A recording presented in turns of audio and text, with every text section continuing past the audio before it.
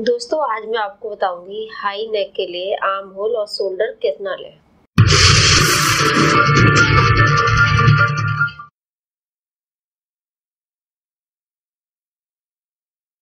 पिछले वीडियो में मैंने आपको लो नेक के बारे में बताया था, शोल्डर, आर्म होल कितना लें। आज के में हाई नेक के बारे में बता रही हूँ। शुरू करते हैं। तो सबसे पहले आप बैक साइड की लेंथ ले लें, जो भी आपके लेंथ ऑलमोस्ट फिफ्टीन या सिक्सटीन रहती है। और जैसे हमारे हाइट कम है तो फोर्टीन या थर्टीन पॉइंट फाइव इंच भी रहती है। तो मैं आपको लेंथ फिफ्टीन इंच में बता रही हूँ। और आप अपना ब्लाउज के अनुसार, जो भी आपकी लेंथ है, उसके अनुसार आप हाइट ले सकते हैं। शोल्डर में आपको थर्टी टू से स्टार्ट कर रही हूँ। जैसे कि आप थर्टी टू साइज़ का ब्लाउज बनाते हैं तो उसके लिए आप शोल्डर कितना लें? काफ़ी कॉमेंट रहते हैं तो मैं आज आपकी वो समस्या भी दूर करती हूँ। ज़्यादातर शोल्डर हमारे 14 इंच रहते हैं या 13 इंच रहते हैं, जो कि हम हाई नेक में ब्लाउज या कुर्ती में बनाते हैं। तो मैं आपको विथ स्टिचिंग के मार्जिन सहित ही आपको बता रही हूँ इसमें। तो ये 32 साइज़ में हम 7 इंच ले रहे हैं, जो कि हमारा हाफ़ इंच शोल्डर में स्टिचिंग में चला जाएगा, जो कि हम साइड में स्लिम में स्टिचिंग करते हैं। तो जो आपका जो तैयार रहेगा, वो आपका 6.5 इंच के आसपास तैयार रहेगा।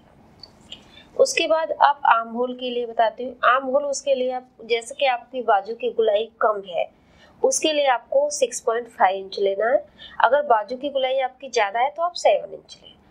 तो जैसे मैं नॉर्मल बता रही हूँ, जैसे 32 साइज़ का है तो अक्सर 11 इंच या 10 इंच रहती है हमारी गुलाई। तो मैं आपको 11 इंच के हिसाब से बता रही हूँ। अगर आपकी गुलाई ज़्यादा है 12.5 इंच या 13 इंच है तो आप 7 इंच ले सकते हैं। इसमें मैं आपको 6.5 इंच ले रही हूँ।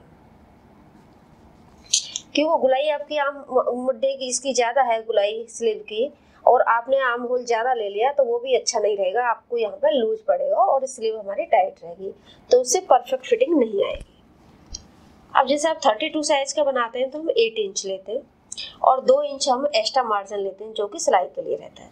तो मैं आपको एक्स्ट्रा मार्जिन नहीं ले रही हूँ इसमें, आपको साइज़ के अनुसार ही बता रही हूँ।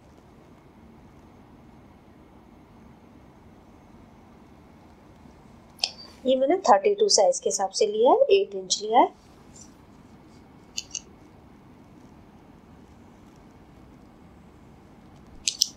तो ये मैंने थर्टी टू साइज़ के आपको हिसाब से ये ड्राफ्ट बता दिया है। अभी मैं आपको थर्टी फोर का बताती हूँ।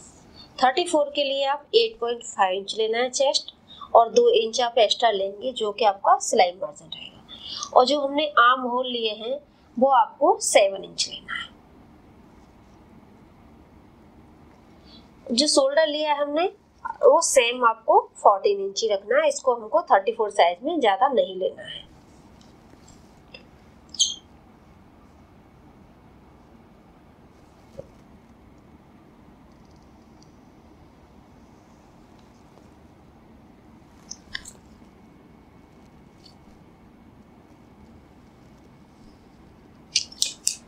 थर्टी टू साइज़ यहाँ पर आएगा आपको।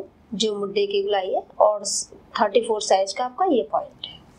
अभी आपको थर्टी सिक्स का बताती हूँ। उसके लिए आपको ये नाइन इंच हमको तैयार में चाहिए तो नाइन इंच पे हम निशान लगा लेते हैं। और जो हमने ये शोल्डर लिया है, ये आप थोड़ा सा इसको टू सेंटीमीटर एक्स्ट्रा ले लें। जितना कि जो सिलाई मार्जिन में जाएगा, उतना ही एक्स्ट्रा ले, तैयार में आपको फोर्टीन इंच आ जाएगा। अगर ज़्यादा भी आप ले लेंगे तो शोल्डर नीचे उतरेगा, वो भी अच्छा नहीं लगेगा। और जो आपको मुड्डे लेने ये सेवन पॉइंट फाइव इंच लेने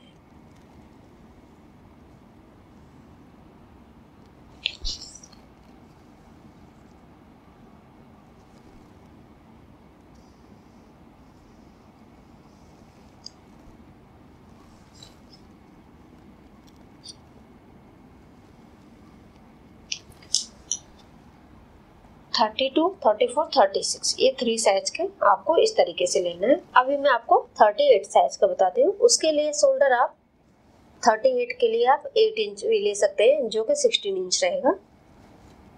अगर आपका आप शोल्डर अपना साइज़ के अनुसार भी ले सकते हैं। किसी का शोल्डर चेस्ट ज़्यादा है, लेकिन शोल्डर कम है तो उसके हिसाब से आप सेवन पॉइंट फाइव इंच भी ले सकते हैं। मैं आपको विथ मार्जिन एट इंच ले रही हूँ। और यहाँ पर मैं एट इंच लूँगी, जो कि इसके मुड्ढे की गुलाई रहेगी।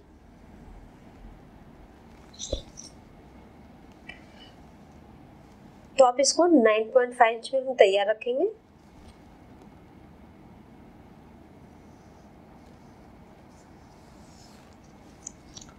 और यहाँ पे हाफ़ इंच एक्स्ट्रा ले लेते हैं। तो आपके इस तरह से आएँगे। अभी आपको 40 साइज़ का बताते हैं। 40 साइज़ के लिए भी आपको शोल्डर एट इंच रखना है, इससे ज़्यादा नहीं लेना है। मुड्डे आप एक्स्ट्रा ले सकते हैं 8.5 इंच ले सकते हैं, जो कि हमको बराबर बैठेगा। तैयार साइज़ टेन इंच आएगा।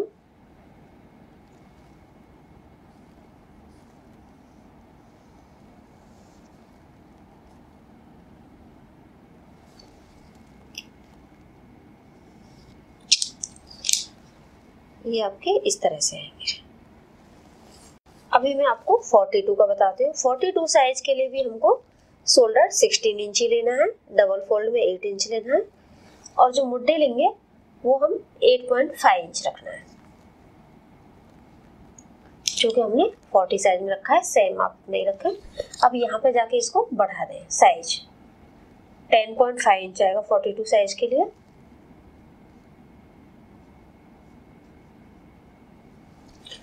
अभी मैं आपको इसकी गुलाई बताती हूँ और जो हम यहाँ पे गुलाई देंगे क्रॉस में, वो भी बताती हूँ। उसके लिए आप सभी में हाफ़ इंच आपको ये क्रॉस में मार्जिन देना है, जो कि हमारा इस तरह शोल्डर तक आएगा, जो नेक रहता है हमारा नेक तक।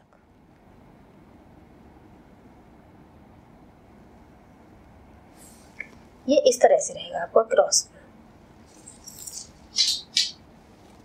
गुलाई देने के लिए हमने जो 32 साइज़ लिया है थर्टी टू साइज़ का हम गुलाई दे देते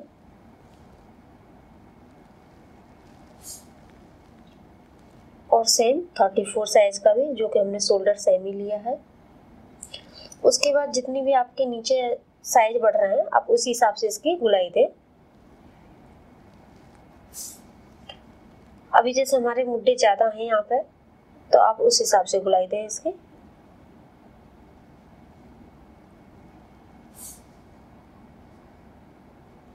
जैसे आपके जो हमने मार्जिन दिए हैं सेम मार्जिन पे आप इसकी गुलाई कर लें।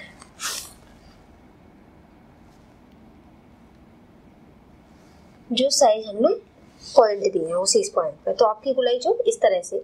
ये हमने बैक साइड के अनुसार बताया। जब आप फ्रंट में कट करेंगे तो हर साइज़ में आप हाफ़ इंच एक्स्ट्रा कटिंग दे दें फ्रंट में। ऊपर से आप वन या point one point five inch आसपास छोड़ने के बाद आप गुलाई दें और गुलाई वहाँ तक दे जो कि आपका करेक्ट साइज़ है। जो आपने सिलाई मार्जिन दिया है, वहाँ पे गुलाई ना दें।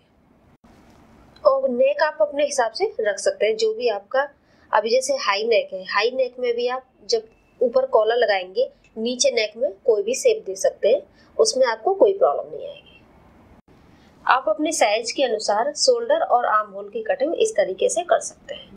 अगर आप इस तरीके से आपको मुड्डे का और शोल्डर का माप लेंगे तो आपके मुड्डे ना टाइट होंगे, ना लूज होंगे, एकदम परफेक्ट फिटिंग आएगी। दोस्तों, आज मैं आपको बताऊँगी अलग अलग साइज़ के लिए आर्म होल और शोल्डर कितना है। दोस्तों, मुझे उम्मीद है कि हमारा वीडियो आपको पसंद आया होगा। वीडियो को शेयर करें लाइक करें चैनल सब्सक्राइब करें। Thank you